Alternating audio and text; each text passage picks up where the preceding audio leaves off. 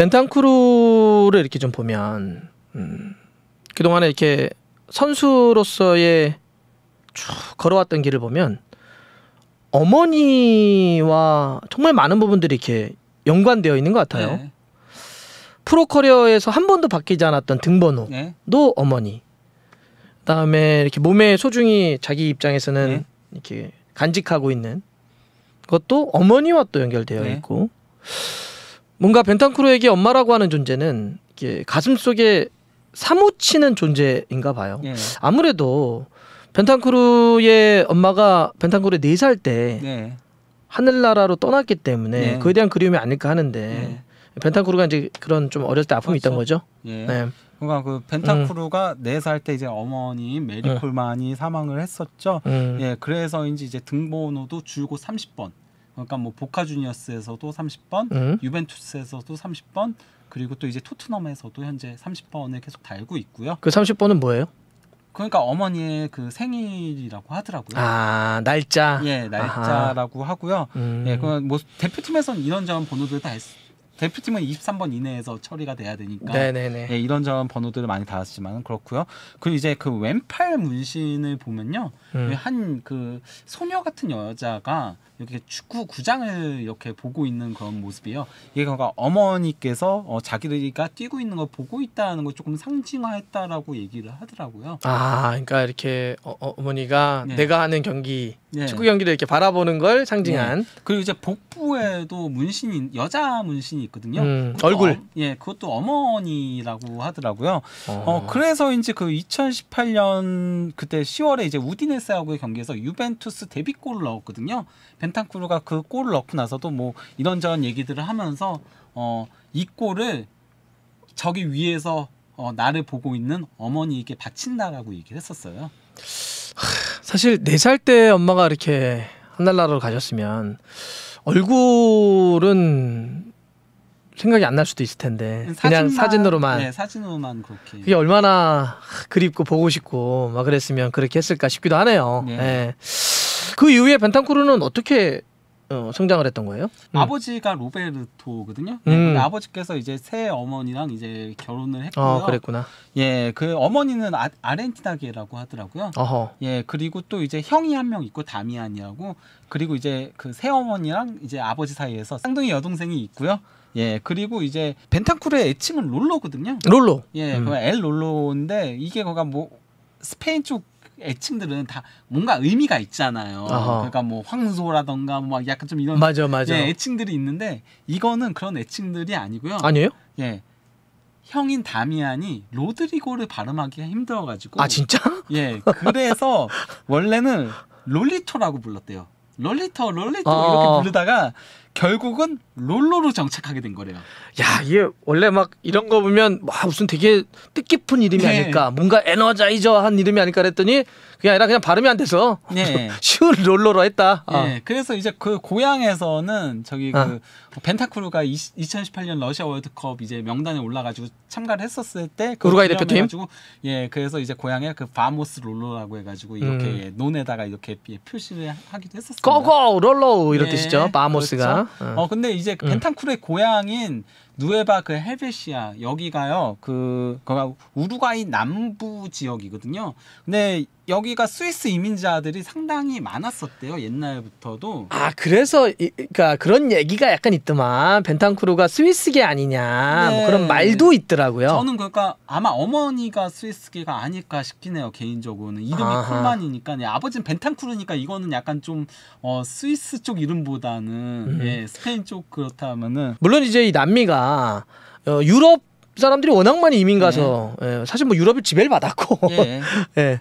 어 그래서 그 원래 누에바 헬베시아의 과거 이름은 어 콜로니아 수이사라는 이름이었대요. 수이샤가 이제 스위스라는 의미거든요. 음. 그러니까 스위스 위성 국가 뭐 약간 좀 이런 이름이었던 아 거였죠. 그래서 스위스 스위스에 대한 얘기가 그래서 나왔구나 예. 고향 때문에 예. 근데 그러다 보니까 여기가 스위스 하면 뭡니까? 낙농업 아닙니까? 치즈, 우유. 어 저도 목장을 졌어. 하긴 했었는데 예 예. 스위스. 그, 여기가 바로 그 낙농 사업이 굉장히 발달한 지역이에요. 아버지도 그래서 낙농 사업 하셨던 예, 거예요? 그러니까 아버지도 아예 낙농 사업을 하거든요. 그래서 치즈도 판매하고 그러면서 나름 사업이 잘 됐대요, 아버지가. 아 그래서 벤탄크루가 이게 키가 큰 게 우유를 많이 먹어서 그렇구나. 그럴 수도 있어요. 거기가 다 커요. 난 나도 목장했다니까. 아, 우리 나 초등학교 때부터 대학교 때까지 우리 네. 집 목장에서 저- 졌어. 음. 뭐야? 근데 그 아버지도 옛날에 축구를 했었대요. 아버님도. 성공은 못했는데 음. 축구를 했었기 때문에 축구에 대한 되게 열망 같은 것들이 조금 있었다라는 얘기들이 있거든요. 아하. 펜타쿠르 같은 경우도 어려서부터 거의 축구에 미쳐 살았대요. 아하. 그래서 항상 이제 축구공을 들고 다녔다라고 하고 음. 그리고 또 이제 생일 때 이 케이크 축구 저 모양 케이크가 아니면은 받질 않았대요. 뭘 까다로워? 무조건 저거 달라고. 아 진짜? 예, 생일 케이크로 그 정도로 예 축구에 미쳐 살았었다라고 하더라고요. 하, 이게, 이게 대단한 집념이나 집중력이나 열정이 아니면 또 이렇게 선수로 네. 성공하기 쉽지 않죠. 예. 아버지도 누에보 베네시아 그 지역에 있는 그 동네 구단 음. 클럽인 아르테사노 그 구단을 운영을 했어요. 아 아버지가 구단을 예. 하나 운영을 했었다고? 실제 그 2008년부터 2010년까지 여기 로베르토 벤타쿠르 적혀 있죠. 아 그러니까 이- 그러니까 이건 선수로 뛴 것이 아니라 구, 구단주로? 예. 그러면서 벤타쿠르가 그 팀으로 들어가서 예 뛰었던 그런 게 있었거든요. 아 근데 이건 동네 구단인 그렇죠. 거죠? 예, 아. 동네 구단이니까 이제 돌아가면서 이제 하는 건데. 아, 예, 그 완전 그런 운영 같은 어. 건 아닌 거죠. 오케이 오케이 오케이. 예, 어쨌건 간에 그러면서 아들의 이제 축구에 상당히 많은 그러니까 지원들을 아끼지 그랬겠네. 않았다라고 할 수 있겠죠. 환경 자체는 좋았겠네요. 예. 예. 근데 벤타쿠르가 사진 보시면 아시겠지만요. 키가 키가 엄청 컸대요. 어렸을 때. 와 엄청 크네 진짜. 그래 갖고 상대 팀들하고 경기를 할 때면요. 상대 팀 학부모들이 항의를 했었대요. 제 나이 속인 거 아니야? 아 진짜? 아니 근데 코도 너무 큰데 그냥 머리 하나 이상이 더 있는 것 같은데? 크잖아요. 어. 남미 선수 치고 정말? 크잖아요. 벤타쿠르가. 맞아요 맞아요. 아 이거 그래서- 진짜 우유네. 예. 그러니까 새엄마가 그것 때문에 막 싸우고 막 이랬대요. 아니다. 네. 원- 원래 우리 나이야 막 이렇게. 음. 예, 그랬다라고 하는데 뭐 그러니까 나름 음. 그 벤탄쿠르의 어쨌건 뉴스 시절 좀 재밌는 일화 몇 가지를 얘기하자면요. 아하. 예, 이제 스푼토네라는 이제 그 유스 팀 코치가 있었거든요. 예, 어그 기술 코치가 네. 있었는데 벤탄쿠르가 자주 신발을 축구화를 잃어버렸대요. 원정 때마다 축구화를 자주 잃어버리고 예, 그러고 오고 막 이랬었는데 또래에 비해서 키도 크니까 발도 컸기 때문에 어. 이거 빌려서 신을 수도 없었다는 거예요. 아 잃어버리면. 예. 그런데 펜탄쿠르가 너무 독보적으로 잘하니까 팀이 안 굴러가니까 그러니까 어, 원정 갈 때마다 그래서 막 축구화를 사갖고 와가지고 신겨가지고 경기에 내보냈어야 됐다라고. 아, 그러니까 잊어버리면 빌려서 안 되니까 네. 사이즈 맞춰서 막 사가지고 네. 또 하고 사와서 또 하고 네. 손 많이 갔네. 약간 손 좀- 많이 가는 형이네. 조금 그 얼빠진 유형이라고 할 수 있는 거죠. 얼빠진 형은 예. 뭐야? 예. 예. 그리고 또 이제 또 다른 코치 이제 메, 메데로스 같은 경우는 어떤 일을 얘기했었냐 면요. 음.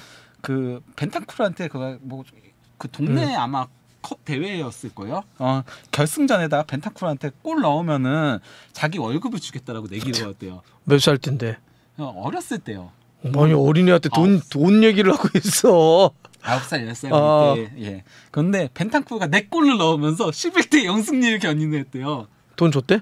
아 그래 그래서 이제 어아 나 이제 다음 달 월급 너한테 줄게 이러면서 아 나 이제 거 거지야 딱 이렇게 얘기하니까 어 벤탄쿠르가 그거 받는 대신에 팀원들이랑 다 같이 바베큐 파티를 하자라고 라고 바베큐 파티 그것만 싸라. 예 그렇게 아. 했었다라고 하는 예, 그런 일화들을 얘기를 하더라고요. 그렇죠. 아빠가 살았네. 저 낙농하더니. 아이 돈 필요 없어요. 그 예. 아버지가 구단 그러니까 그렇지 약간 그렇지. 좀 그러니까 그저 코치 월급 얼마나 된다고 그냥. 예. 아 오케이 오케이. 어 근데 이제 그래서 이 팀에 대한 조금 본인이 애정이 많다 보니까 자주 이제 뭐 구장에도 음. 어방그 방문도 하고요. 그래서 뭐 인터뷰 같은 것도 하고 그래서 뭐 우- 우루과이 대표팀에 처음 뽑혔을 때도 그때 가가지고 막 이 연 연설이라고 해야 될까요? 그러니까 난 이렇게 어 성공했어라는 걸 음. 뭐 애들 모아놓고서 한 적도 있고요. 음. 네, 그리고 이게 2018년 6월 25일 그 벤탄쿠르가 6월 25일 생이거든요.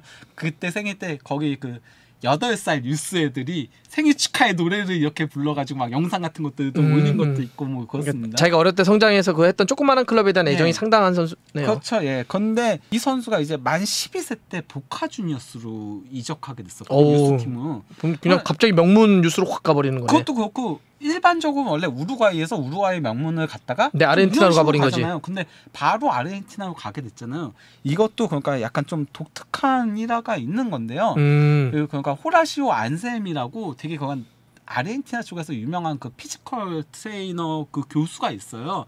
그 보카 주니어스에서도 일을 하는데 아버지께서 그러니까 조금 세미나 같은 거 해달라고 자기네 구장으로 구단으로 부른 거예요. 아하. 구단을 불러가지고 딱 이제 그 수업을 하는데 앞에서 이제 시범 보일 사 선수 뭐 애들이 필요하잖아요. 그래서 세 명을 불렀대요. 세 명을 불렀는데 그 중에 벤탄쿠르가 있었대요. 근데 얘가 하는 걸 보니까 너무 잘하더래요. 음. 재질이 조금 다르더래요. 그래갖고 뭐그 아버지한테도 얘기 안 하고 벤탄쿠르한테도 얘기 안 하고 보카 주니어스 쪽에다가 scouting report 보내면서 이 소녀는 다이아몬드다. 아르헨티나 일부 어, 아카데미에서 뛸 자격이 있다. 이렇게 레터를 보내가지고 아. 그래서 보카 주니어스가 그렇게 데려가게 됐다. 이게 상당히 우연이네. 예. 어, 그냥 세미나로 왔는데, 어? 어? 뭐야 이런 보물이 있었어? 네. 사실 그냥 일반 스카우트망을 이용했다고 한다면 아까 했던 것처럼 여기서 그렇죠. 여기 가서 여기서 이렇게 가야 되는데 네. 그냥 쭉 간 게 세미나 하러 갔는데 동네에서 뭐야? 아하. 그래서 좀 약간 행운이 따랐다라고 그 보도에서는 그렇게 설명을 하고 있더라고요. 원래 다 Fortuna라고 하는 행운이 다 있죠. 그때 네. 타이밍 맞춰서 준비됐을 때 내가 얼마큼 능력이 있었냐가 중요한 네, 거니까. 어쨌건 간에 능력이 너무나도 그러니까. 그게 핵심이지. 예, 음. 낭주 낭중지추였으니까. 언젠가는 뾰족 튀어나온다 네. 주머니에 넣는 송곳이. 예. 그래서 이제 벤탄쿠르는 만 17세 이제 보카 주니어스에서 프로 데뷔를 했었고요. 아 그렇게 복칼 넘어갔구나. 예, 그 프로 데뷔하자마자 이때 그 아르헨티나 리그 우승을 했었거든요. 그 데뷔 시즌부터 상당히 잘했어요. 어 근데 어 그러면서 이제 테베스랑 이렇게 뭐 우승 트로피를 들고 음. 있는 건데 이게 근데 조금 미묘한 사진이죠. 왜냐면 벤탄쿠르가 유벤투스를 가게 된 거는 테베스가 보카 주니어스를 왔기 때문이었거든요. 음. 테베스가 고향 가고 싶어라고 유벤투스 시절에 노래를 해가지고 그래서- 있었죠. 예, 테베스가. 보카 주니어스를 650만 유로로 보내줬는데 너무 가치 대비 싸게 보내준 거잖아요. 그래서 유벤투스가 벤탄쿠르 우선 협상권을 가져가게 됐어요. 아 그때 맞물렸구나. 보카 주니어스 4명 선수가 우선 협상권이 있었던 건데 영입한 거는 벤탄쿠르밖에 없었어요. 그 네명 중에 음. 결국 영입하게 된 거는 음. 예, 음. 펜탄쿠르는 음. 보카 주니어스에서 뛰면서 가고라는 또 이제 아르헨티나에서는 나름 전설적이었던 음. 예, 수병 미드필더랑 음. 같이 뛰면서 조금 많이 보고 배웠던 아하. 예, 그랬던 게 있었죠. 그리고 그때 감독이 바로 이제 스켈로토, 바로 최근에 파라가이하고 우리나라 평가전 때 파라가이 대표팀 감독이었던 음. 예, 그 사람이 감독이었던 거였고요. 그러고 나서 이제 결국 2년 뒤인 2017년 4월에 950만 유로의 그 이적료로 그 유벤투스로 이적하게 됐, 었거든요 음. 근데 이때 조금 이게 계약서인데 굉장히 복잡해요. 저도 이거 찾아보느라고 힘들었었는데 아, 총 유벤투스가 지불한 이적료가 2,250만 유로라는 얘기들이 많거든요. 네. 그게 왜냐면은 그러니까 일단 그 우선 협상권에 의한 영입비가 950만 유로가 있고요. 그리고 매 한 시즌 동안 뛸 때마다 200만 유로씩 더 지불해야 되는 옵션이 있었다라고 하고요. 음. 그리고 뭐 챔피언스 리그에 나가면 또 50만 유로의 옵션 수당. 뭐 음. 이런 것들 다 합치다 보니까 결국 2,250만 유로까지 올라갔었다. 이게 남미 쪽 애들은 더 복잡하더만. 그렇죠. 남미 애들은 어, 굉장히 복잡해. 그 소유권에 대한 문제 나눠놓고 그렇죠. 막 이런 게 있어가지고. 예. 저 아까 사인한 게 뭐 다섯 군데가 사인- 사인한 거예요? 그래서 그런 거예요 이게? 예, 그렇죠.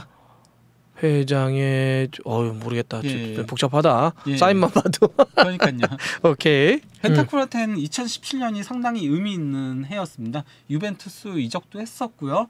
그리고 이제 20세 이하 그 음. 월드컵 남미 지역 예선 우승도 우루과이가 했었고요. 그리고 그때 바로 이제 20세 이하 월드컵 한국에 와가지고 그때 4위까지 맞아요. 준결승까지 올라갔었어요. 예, 발베르데 문제 사건이 음, 있었던 음. 그때 벤탄쿠르도 어쨌건 있었고요. 음. 그리고 또 이제 2017년에 바로 이제 어, 우루과이 대표 성인 대표팀에도 승선하게 되면서 음. 예, 상당히 의미 있는 1년을 보냈었고요. 예, 심지어 뭐 챔피언스 예, 뭐 그렇습니다. 예. 음 그렇게 쭉 와서 지금 이제 토트넘까지. 어 그리고 벤탄쿠르가 그런 거는 있는 것 같아요. 그가 어머니를 일찍 여의고 나서 조금 뭐랄까 모성애에 대한 그런 게 좀 강하지 않나라는 생각이 모성애? 드는데요. 왜냐면은 에, 최근에 그러니까 벤탄쿠르가 엄청난 사랑꾼이에요. 인스타그램 음. 보면은 여자친구 사진이 엄청 많이 올라오고요. 음. 그리고 심지어 인스타 스토리에 하나가 여자친구가 돼 있어요. 그래서 그거 클릭하면은 그건 여자만 여자친구만 계속 나오거든요. 그 사진들이 나오는데 여자친구 그거 왜 눌렀어? 그냥 저는 벤탄쿠르 그 정보들을 수집하려고 벤탄쿠르 그 인스타그램에 들어가니까 하나가 이렇게 따로 있길래 이거 딱 클릭을 해보니까 여자친구 사진이 이렇게 쭉 나오더라고요. 얼마나 머물렀는데? 예? 얼마나 머물렀어? 뭘 얼마나 못 몰라요? 뿌걸도 그렇게 보, 보잖아요. 계속 보잖아. 하루에 막 여기 와서 두 시간씩 아, 그렇게는 보고. 안 보고요. 그냥 어떤 게 있나만 그냥 간단하게 본 건데요. 근데 보니까 어쨌건 간에 여자친구가 비교적 최근에 임신한 사진을 올렸었거든요. 아 그래요? 예, 그래서 이제 둘 사이에 이제 아마 배가 이렇게 나와 있더라고. 배 이렇게 음. 나온 걸 올렸었는데 어쨌건 간에 이- 간단히 보진 않았네요 사진을. 어, 아니에요. 어 예. 예, 어쨌건 간에 어, 그런 걸 보면은 여자친구에 대한 사랑도 굉장히 많고 뭐 이런 거 음, 보면은 조금 음. 모성애에 대한 그런 갈망 같은 게 조금 있지 않나라는 생각이 음. 들더라고요. 근데 저는 뭐 처음에 들을 때 네. 왜 30번을 계속 그렇게 등번호를 달았는지 네. 되게 어머니의 생일이었다. 네. 근데 참 엄마의 얼굴도 사진으로만 기억을 네. 하니까 네. 얼마나 뭐 이렇게 그리울까? 그건 상상이 잘 안 되죠. 네. 저는 그런 경험이 없으니까. 근데 어쨌든 그런 이야기를 또 들으니까 벤탄쿠르도 또 약간 좀 새롭게 보이긴 합니다. 네. 좋습니다. 벤탄쿠르 이야기까지 이렇게 네. 오늘 정리해 볼게요.